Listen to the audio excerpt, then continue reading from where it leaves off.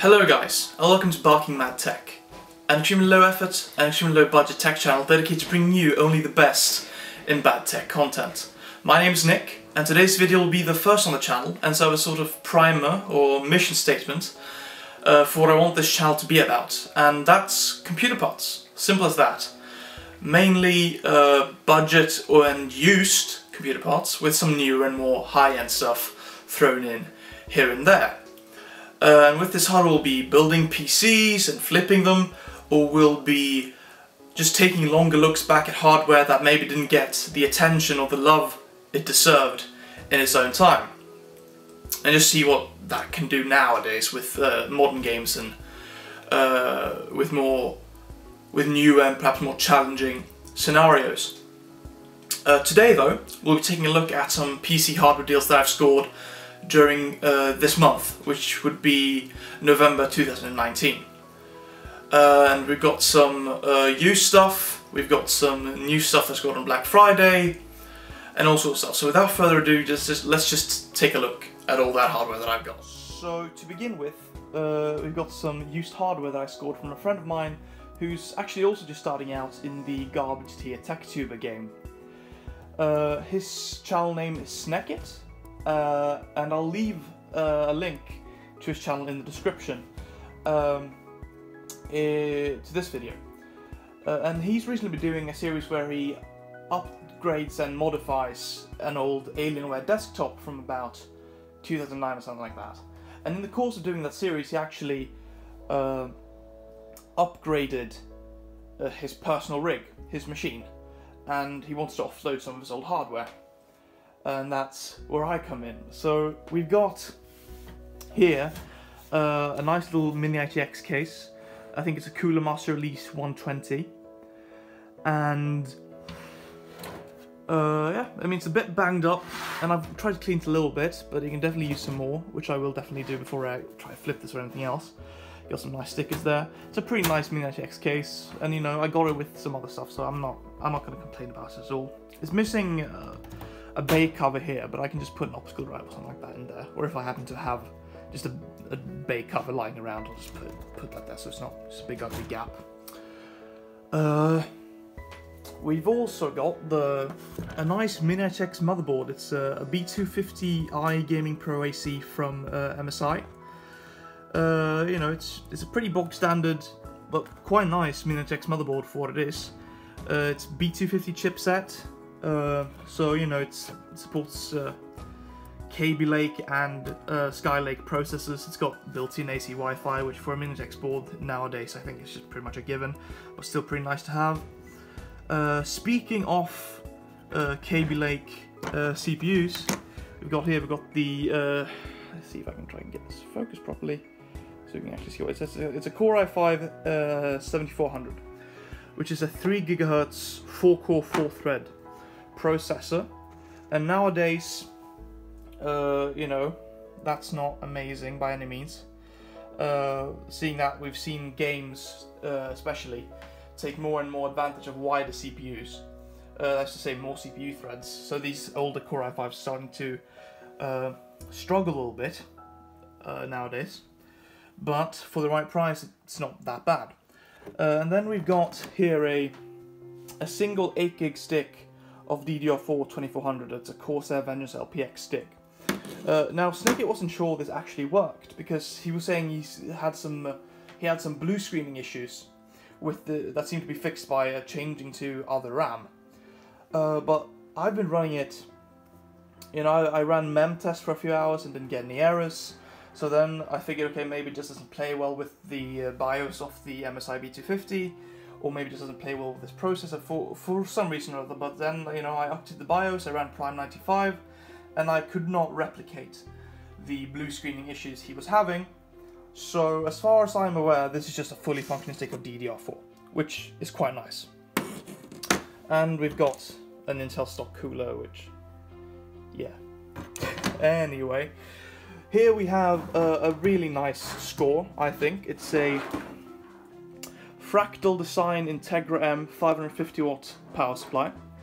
It's uh, semi-modular, uh, 80 plus bronze certified, Uh, and yeah, like 550 watts is enough for a very wide range of hardware all the way up into the high end. So I'm very happy with this. This is a really nice power supply. And now for the big dog. This is a Asus ROG Strix 980 Ti. I remember back when this card came out, I desperately wanted one, but just I couldn't afford it at the time. It was well, it's almost five years ago now, isn't it? And like, while it's not certainly not the, the best of the best anymore, it's still a really great uh, graphics card, especially for ultra 1080p gaming, even at high refresh rates. So this is still a really great card. It more or less matches a GTX 1070. It's better in some titles, slower in others. Uh, so it's yeah, and considering, yeah, it's just it's just a great card. I'm very happy that I finally have one. Uh, so what did I pay for all this uh, from Sneckit? Well, I got it all for 2,000 Swedish crowns, which I think works out to just under 210 US dollars. And considering that at least here, the 980 Ti alone goes for about that, I am very happy that I got all this for just 2,000 Swedish crowns. But that's not all. We've also got some stuff that I got from free through some contacts at a local PC repair shop. And what happens at this repair shop is sometimes, you know, customers they come in, they want the stuff upgraded or or repaired, and there's hardware left over that they don't really want back. Uh, and then I often get an opportunity to either buy it cheap or get it for free. In this case, I've just gotten it for free. So we've got a 2x8 gigabyte kit of DDR3, HyperX Savage, nice red gamery uh, heat spreaders, and it's it's 2400 megahertz, which is about as fast as it gets for DDR3. So that's pretty damn nice, and it's 16 gigs. So you know you can always find a use for DDR3, especially when you're dealing with huge stuff. So yeah, I'm happy with that.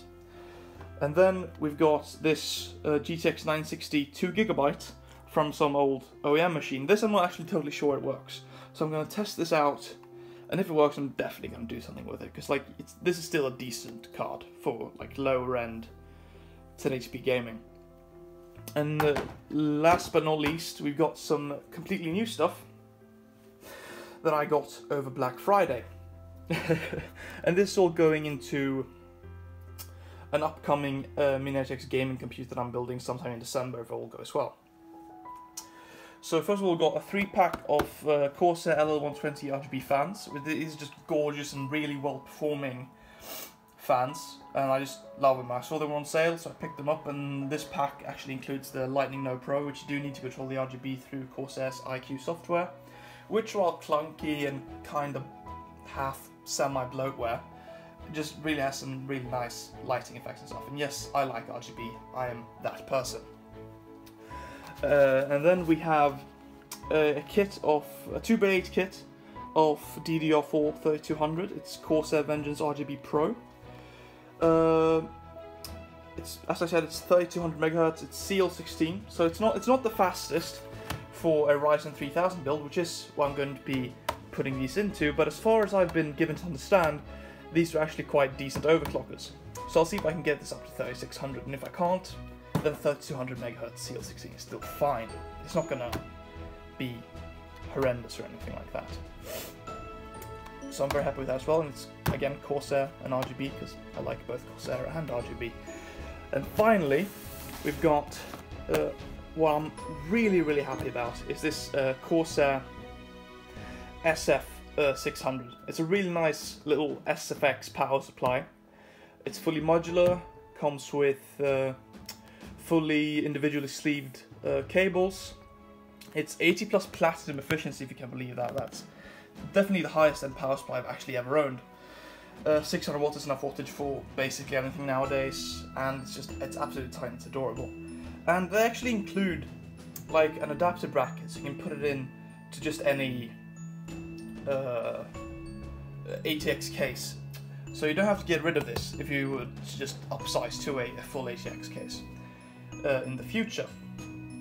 Uh, but that's very nice indeed. I'm very happy about this. And for this, I paid 2,727 uh, Swedish crowns, which works out to about 285 US dollars, I think.